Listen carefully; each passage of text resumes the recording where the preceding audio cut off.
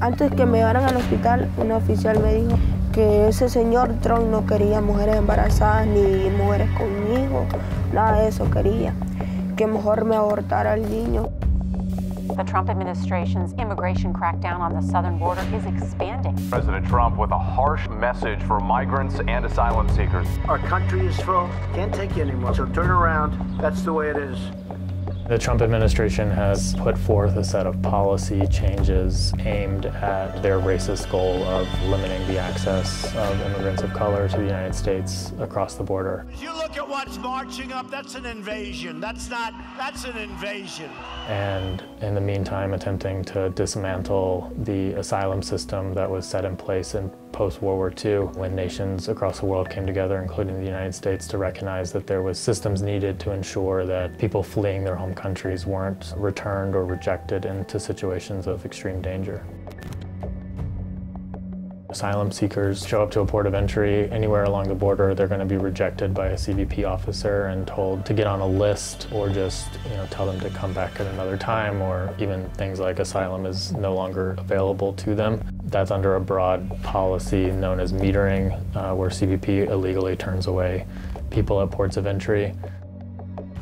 If you are processed or you do cross in between a port of entry and are apprehended, you're now subjected to what's called the Migrant Protection Protocols, MPP, which is a program that forcibly returns people to Mexico to face ongoing dangers. People have been raped, kidnapped, extorted, and that policy is designed to prevent them from returning to the U.S. for a hearing before an immigration judge.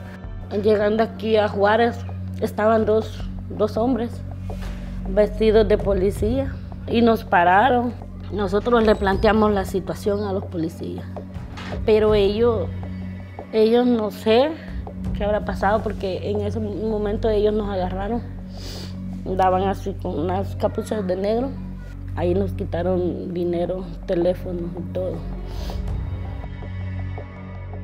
The administration has attempted to ban eligibility for asylum for the vast majority of people arriving on the border, including a ban that would require everyone to apply first in Mexico and be denied before being eligible for asylum. Mexican officials simply don't have uh, the capacity or, or in some instances the willpower to, to ensure migrant safety. There's already been over 50,000 asylum seekers returned under the MPP program alone. There's an estimated close to 30,000 other migrants stuck on metering lists across the border. It's a massive population that Mexico simply doesn't have you know, the resources to protect. Me vine por discriminación ante mí, por ser gay. Decidí venirme para Estados Unidos y resulta ser que llego a Estados Unidos y lo que hacen es que me mandan para México. Y aquí está peor la cosa más bien. Every single migrant is extremely vulnerable in Mexico, particularly along the border. The streets of Nuevo Laredo are often called Los Caminos de Carteles, the streets of the cartels, highly coveted smuggling routes, now a dumping ground for migrants. You know, we've seen cases of young women raped after return by CBP, kidnapped, disappeared. Groups like LGBTQ populations, pregnant women, and others don't have access to needed protections and resources in Mexico. We're seeing a lot of flu.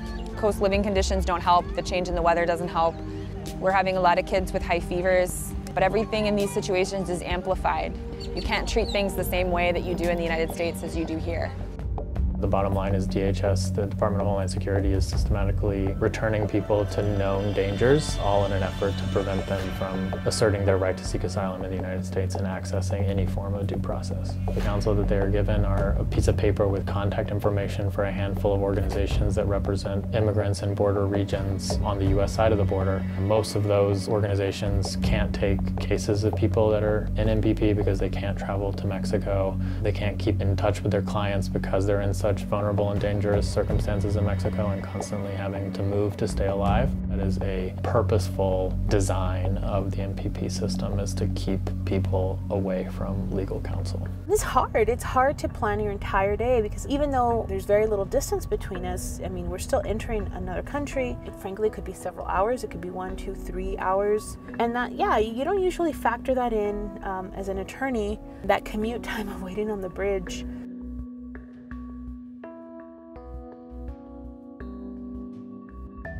I think it's incumbent on every person in the United States to reflect on whether the United States is a country who is living up to its supposed values. I think we put a lot of weight behind the idea that the U.S. is a country of immigrants, and I think the racism and white supremacy that has come into power in this government is playing out very clearly on the border in the brutalization of immigrants of color, and we all need to consider whether that is, you know, a system that the United States should be propagating.